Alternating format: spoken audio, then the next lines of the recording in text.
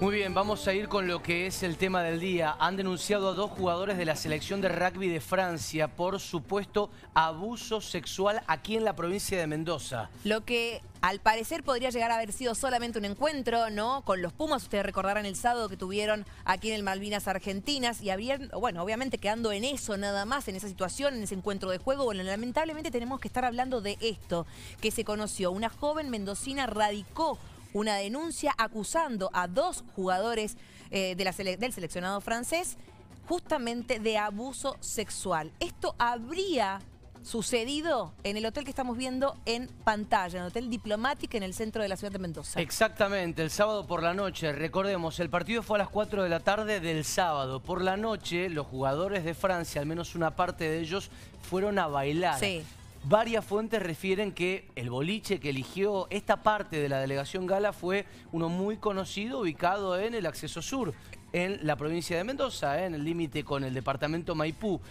Mientras que los Pumas habrían ido a bailar también a otro boliche, incluso que eso puede haber estado pensado para no cruzarse, es uno de los elementos que se están mencionando. Bueno, habría uno de ellos conocido a una joven en el boliche. Exactamente, que al parecer, esta es la información que se está manejando y lo tomamos con todo el cuidado que corresponde justamente por la investigación que se está llevando adelante. Al parecer, este jugador habría invitado a esta chica al hotel donde en ese momento y en esa habitación habría aparecido otro de ellos. Exactamente. Hay dos jugadores denunciados por abuso sexual eh, con acceso carnal según eh, datos extraoficiales. Hay que recordar que esto está bajo secreto de sumario porque un dato que se filtre puede hacer caer toda la prueba y que se caiga toda la prueba puede derrumbar la causa entera. Estos hombres habrían sido detenidos en la tarde de hoy, no lo termina de confirmar la justicia y de todos modos lo conversábamos recién con Gisela, hay una delegación de la justicia local viajando hacia la ciudad autónoma de Buenos Aires. Claro, porque ellos estaban por salir del país, lo decíamos, ¿no?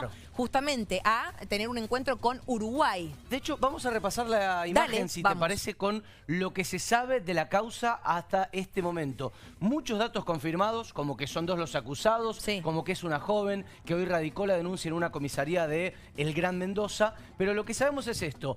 Hay dos hipótesis sobre dónde habría ocurrido, como decía Gisela, hay una que es la más fuerte. Claro, que es la del hotel, ¿no? Que se habrían conocido en este boliche que mencionábamos recién. De allí la joven se habría ido con uno de los jugadores y en el hotel, en las situaciones, bueno, en la habitación, habría aparecido otro jugador, estos dos, que obviamente caería la denuncia de esta joven. Ahí hay que decir que ellos son clave las cámaras de ese hotel, que se entiende que es el hotel donde se hospedaban los franceses. Por supuesto que esto hay que determinarlo todavía, pero la delegación se hospedó en el Diplomatic, lo contaban los periodistas que estuvieron cubriendo su llegada al Diplomatic en la calle Belgrano.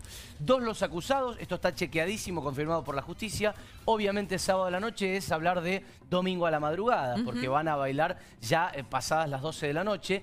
Esperan traerlos a Mendoza, fueron detenidos hoy según nos contaban, pero claro, viaja esta delegación. Podría haber una interpelación allá a los jugadores y que después accione la justicia local. Exacto. ¿Quién estaría a cargo de la investigación? El fiscal de delitos sexuales Darío Nora, ¿Quién estaría llevando adelante todo esto. Lo que recién decíamos, se estaban yendo a Uruguay, ¿no? Este partido el miércoles 10, disputarían justamente este partido con el seleccionado uruguayo, los Teros, allí está.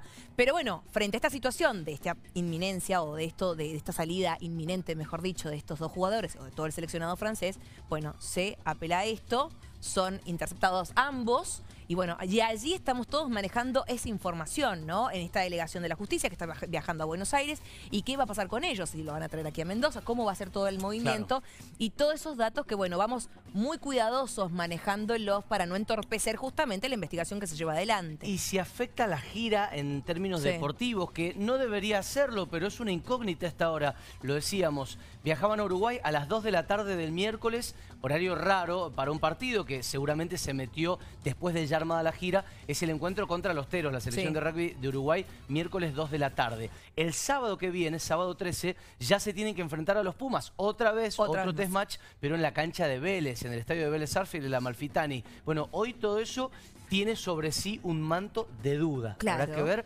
cómo termina la investigación. Estás en el 7.